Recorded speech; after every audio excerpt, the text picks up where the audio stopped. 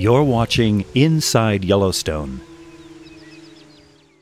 Many people don't realize that what's driving all the geyser activity in Yellowstone is a big volcano. In fact, everything you see in Yellowstone, from the geysers and hot springs to plants and animals, even the abundance of waterfalls and frequency of fires, is because the park sits atop one of the world's largest volcanoes. The fact that the Yellowstone volcano is in the middle of a continent makes it unique and helps to generate rare, plentiful geyser activity. The volcano or hotspot not only provides the heat and the right plumbing system needed for geysers, but it also accounts for almost everything else in Yellowstone. As the volcano's magma domed up the ground surface of the entire region, it caused our high elevation climate and weather. The lava that oozed out cooled and hardened into rock, establishing the soil types.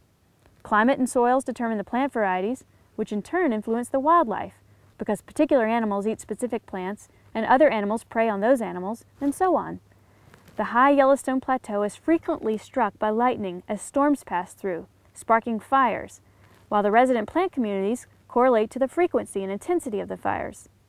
The volcanic crater and successive lava flows have broken up the high plateau, creating sheer faces that drop to lower areas.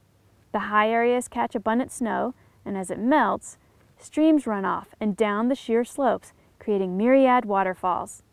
The geyser basins, rivers, and lakes are located between the lava flows.